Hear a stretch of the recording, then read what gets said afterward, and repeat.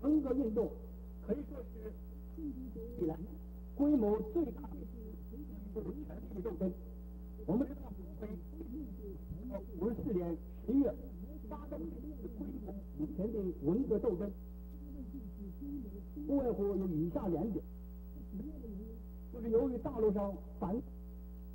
动正在普遍的开展，运动呢，是由过去个别的内力的活动，而转变为今天看见武装抗暴，给北魏政权呢。第二个原因呢，就是由于反毛分子啊，在就是说指定为毛副主席刘斐少，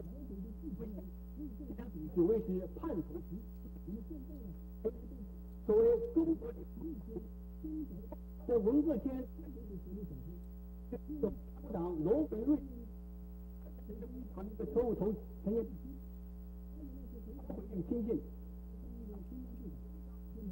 哎，整肃的几个不稳分子，可是没想到呢，他本人就是本心中的一个头号。从以上这个别的事实，我们可以看出来，毛伟今天的处境呢，一直是。天呢，作为当权派。像这个彭真、彭德怀、刘少奇这些人，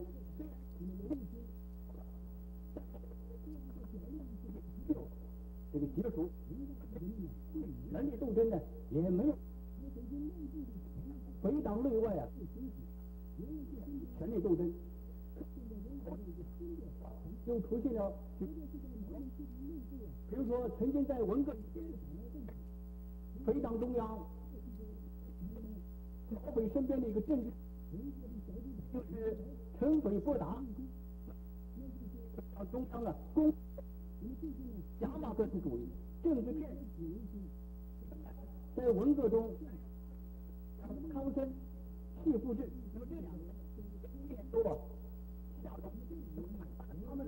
由于政治的作为党的检查，他在文革前后被。下放老百姓，各类分子呢，大约有六千多。